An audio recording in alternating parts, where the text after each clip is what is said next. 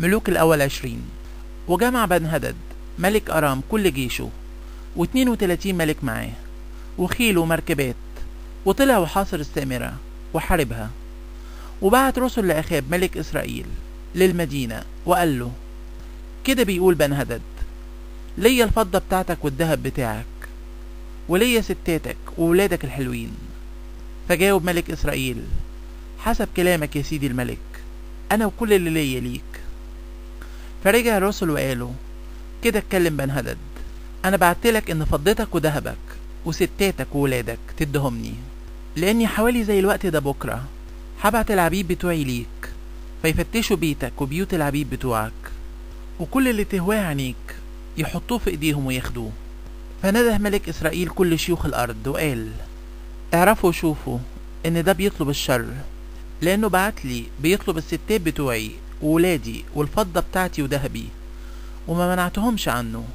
فقال له كل الشيوخ وكل الشعب ما تسمعلهوش وما تقبلش.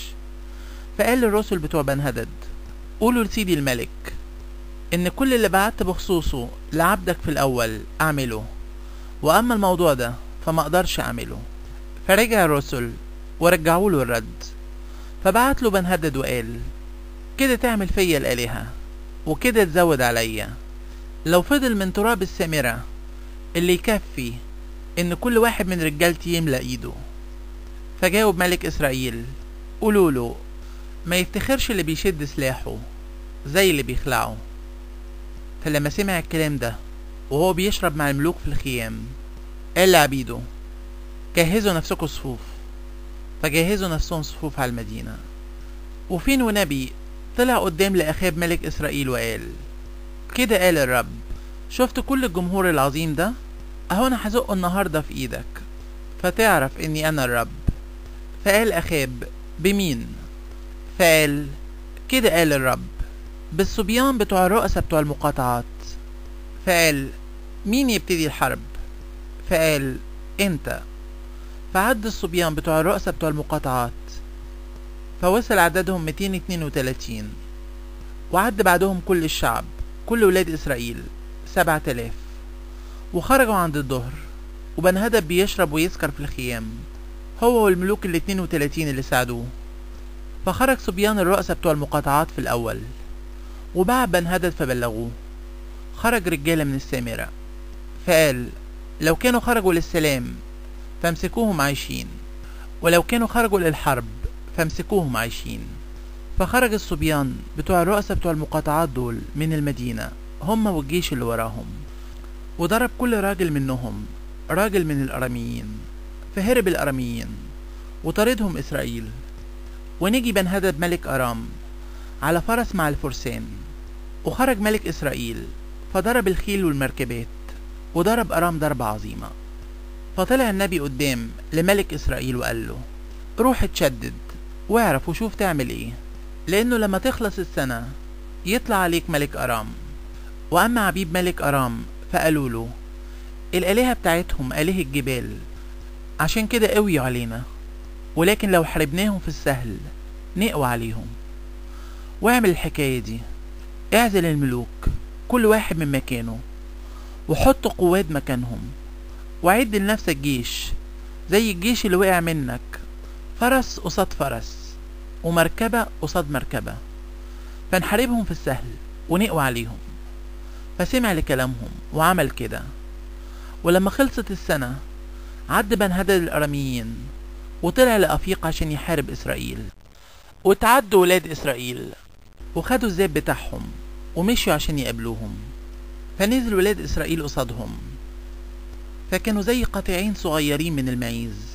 وأما الأراميين فملوا الأرض. فطلع قدام راجل الله وقال لملك إسرائيل كده قال الرب عشان خاطر إن الأراميين قالوا إن الرب إله جبال وما هواش إله وديان هزق كل الجمهور العظيم ده في إيدك فتعرفوا إني أنا الرب. فنزل دول قصاد دول سبعة أيام وفي اليوم السابع اشتبكت الحرب فضرب ولاد إسرائيل من الأراميين مئة ألف راجل في يوم واحد. وهرب الباقيين لأفيق للمدينة ووقع السرعة سبعة وعشرين ألف راجل الباقيين وهرب بن هدد ودخل المدينة من أوضة لأوضة فقال له العبيد بتوعه إحنا سمعنا إن ملوك بيت إسرائيل ملوك رحمة فنحط خيش على وسطنا وحبال على رأسنا ونخرج لملك إسرائيل يمكن يعيش نفسك. فشدوا خيش على وسطهم وحبال على رأسهم. وجم لملك إسرائيل وقالوا بيقول عبدك بن هدد تعيش نفسي. فقال هو لسه عايش هو أخويا. فتفائل الرجالة وشهلوا ولقطوها منه قالوا أخوك بن هدد. فقال ادخلوا هاتوه. فخرج له بن هدد فطلعه للمركبة وقال له أنا أرد المدن اللي خدها أبويا من أبوك وتخلي لنفسك أسواق في دمشق. زي ما خلى أبويا في السامرة فقال وأنا أسيبك بالعهد ده. فقطع له عهد وسيبه. وكان في راجل من ولاد الأنبياء. قال لصاحبه بأمر الرب اضربني. فرفض الراجل إنه يضربه. فقال له عشان ما سمعتش كلام الرب فلما تروح من عندي يقتلك أسد. ولما راح من عنده قابله أسد وقتله. بعدين صادف راجل تاني فقال اضربني. فضربوا الراجل ضربة فجرحه. فراح النبي واستنى الملك على الطريق واتنكر بربط على عينيه. ولما عدى الملك نادى الملك خرج عبدك لوسط الحرب. وفين وراجل مال وجالي براجل وقال حافظ على الراجل ده ولو ضاع تبقى نفسك بدل نفسه أو تدفع وزن من الفضة. حوالي 36 كيلو. وفين وعبدك بيشتغل هنا وهناك؟ قام ضاع فقال له ملك إسرائيل أهو كده حكمك. أنت حكمت. فسرع ورفع الربط عن عينيه. فعرفوا ملك إسرائيل إنه من الأنبياء. فقال له كده قال الرب لأنك فلتت من إيدك. راجل أنا فنيته. تبقى نفسك بدل نفسه وشعبك بدل شعبه. فراح ملك إسرائيل لبيته. مكتئب ومغموم.